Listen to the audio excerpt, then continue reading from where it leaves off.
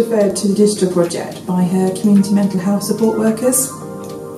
Catherine already had access to the internet at home, but due to a low income um, scenario, she was unable to afford a device that enabled her to get online, um, to access emails, to use the internet and complete some of her mental health support courses online. Um, so the project enabled her to get the iPad and have the one-to-one -one support that she needed to do these things.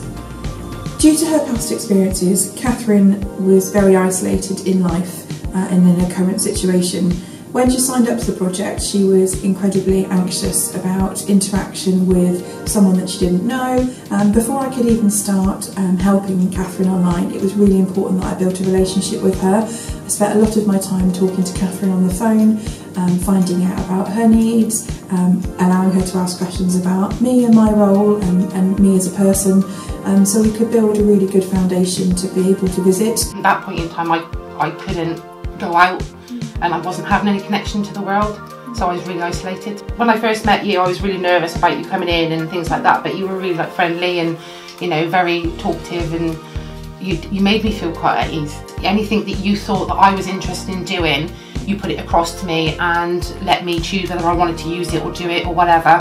One of the big things that we did during the project time was set Catherine up with a ring doorbell. Um, this enabled Catherine to use her iPad and the doorbell device to see who was at her door. Um, and with her isolation uh, and her loneliness, this was a huge, a huge step and a supportive tool for Catherine to use during that time. Um, I supported her with um, other visits from BT that she needed to um, upgrade her internet so she wasn't alone. And we were able to support her to do things such as setting up WhatsApp, um, WebEx and doing online support courses for her mental health. Um, and this is really important to, to Catherine as this is something that she wouldn't have done alone. I've got um, family that live in Wales and I've also got two cousins that live in Australia so I can use it to video time and speak to them on there which is something I wouldn't have been able to have done really on my phone. The bigger screen I can see them, I can interact with them a bit more. One of the other things that Catherine was really interested in uh, being such a creative person was seeing how she can interact with creativity online.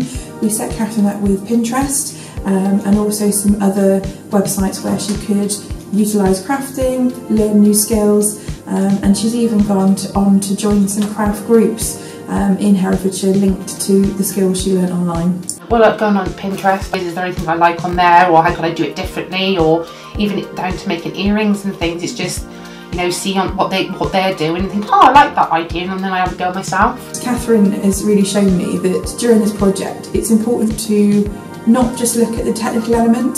There is a part of this that whilst you may give someone an iPad, you still need to show them what's available, how it links to them and how it associates their life. If it'd been a tablet, I'd been like, I'm really grateful, but it would have been, what do I do? I'm not sure what I can do with it. For me, my life was about being inside, being isolated, not having connections with the outside world, much apart from my children. So to have somebody come along and be all like hi and bubbly, it gives you that, okay, the world is, isn't so rubbish outside.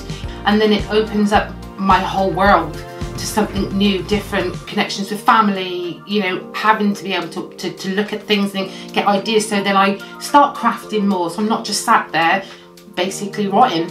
Even though I know it sounds really stupid because it's the internet, it has given me more of life. It has.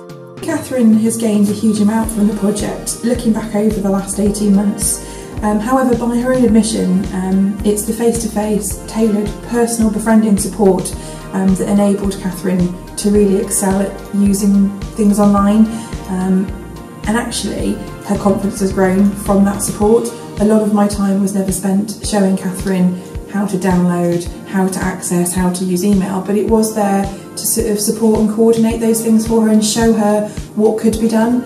Um, and I think that's really important to, to understand from the project that not everyone needed that level of technical support but did need someone to support them as a friend through the process.